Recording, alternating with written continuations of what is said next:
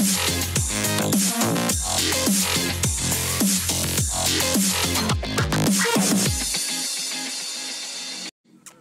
مشاهدينا الكرام مرحبا بكم في عدد جديد من برنامجكم ميدياتور البرنامج اللي من خلاله نحاول في كل مرة نسلط الضوء على أبرز الأخبار الصور والفيديوهات الأكثر تداولا في ال social media يعني تفاعلاتكم أنتم مشاهدينا على هذه الأخبار اللي تسمع الحدث في مواقع التواصل الاجتماعي.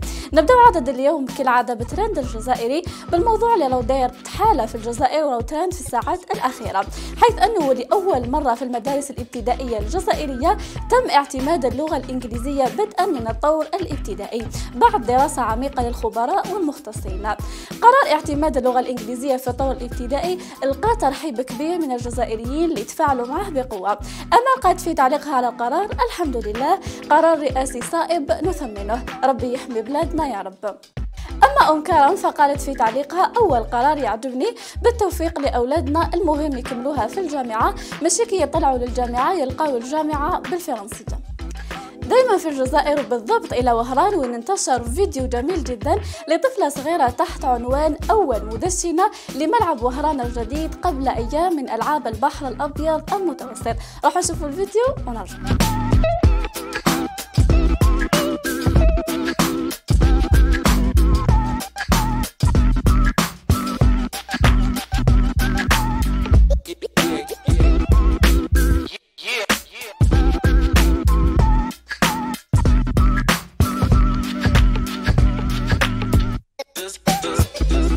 الله الفيديو لقى تفاعل كبير على مواقع التواصل الاجتماعي والجزائريين كالعادة ما فوتوش فرصة التعليق والتفاعل عليها.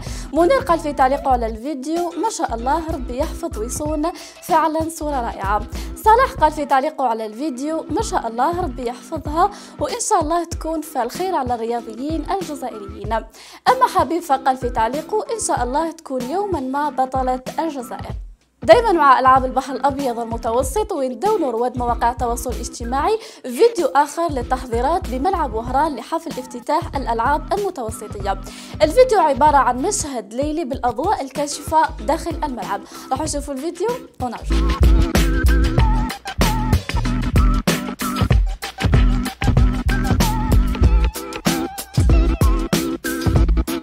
دولوه الجزائريين وتفاعلوا معاه كاين اللي عجبهم وثمنوا المجهودات المبذولة. كما فؤاد اللي قال الله يبارك زيادة في الجزائر. وكاين اللي ما عجبهمش وتنمروا عليه كما رشيد اللي قال في تعليقه هذا الأضواء خلعتك أنا في بيتي عندي خير منها شريتها سبعين ألف. أما حسام فاختار أنه يرد على الناس اللي تنمرت على الملعب فقال في تعليقه شعب ما يبغيش حتى روحوا على العام السلبية باغي يبغوكم الناس الأخرى الناس تعظم كل صغيرة ديرها بلادها وأنتم تضحكوا على كلش فعلا تصرفاتكم تحتاج لدراسة اجتماعية. إلى ترند العالمي مشاهدينا وين انتشرت صورة ليوتيوبر الكوري الشهير داود كيم. الصورة له وهو في مكة المكرمة يؤدي في شعيرة الحج. وين كان نشرها على صفحته الرسمية في إنستغرام وكتب معها أنا سعيد لأن الله اختارني أن أكون عبده وآتي بي إلى مكة. الصورة لقات تفاعل واستحسان كبير على مواقع التواصل الاجتماعي منى في تعليقها على الصورة. ربي يثبته إن شاء الله. الله يبارك هذا راهو في شعال من اللي اعتنق الإسلام. أما أبو حسناء فقال ما شاء الله تبارك الله ويدخلون في دين الله أفواجا. إلى آخر فقرة مشاهدينا في هذا العدد اللي راح تديكم هذه المرة في جولة لأغرب فندق بالجزائر. فمن دوره انبهار الزبائن به اطلقوا عليه تلك التسميات المستمدة من البرامج الوثائقية والرسوم المتحركة العلمية اللي تصور تجمع لبيوت النمل.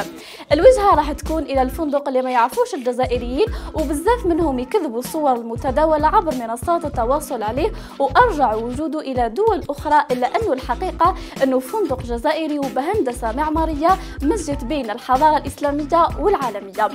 فعلى بعد 470 كيلومتر غربي العاصمة وتحديدا في منطقة بوزدار التابعة لولاية عين تيموشن نجد هذا المنتجع السياحي اللي عيطوله عش النمل. هذا المشروع اللي تبنى عام 2016 ليكون نموذجا سياحيا فريدا من نوعه في الجزائر وإفريقيا.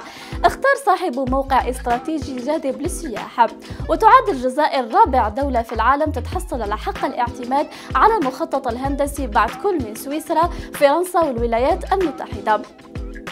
غير أنه صاحب مشروع عش النمل السياحي اختار أنه يضفي لمسة من هوية الجزائر على تصميم المهندس المعماري العالمي دانييل جراتيلو ليمزج بذلك بين الفن العالمي بهندسة عربية إسلامية تزيد من راحة زواره. واهتم الفندق أيضا بتكوين عمالة في الفندق والإعلام السياحي والطبخ الجزائري والغربي ليجمع بذلك خصوصيات مستوحاة من البيئة الجزائرية ثقافتها أصالتها الأورو متوسطية. لهنا مشاهدينا نكون وصلنا لنهاية هذا العدد. ما تنسوا تشاركونا بالصور والفيديوهات اللي راهي دايرة حالة في مواقع التواصل الاجتماعي على منصاتنا الرقمية الظاهرة أسفل الشاشة. باش نهضروا عليها في الأعداد القادمة. سلام.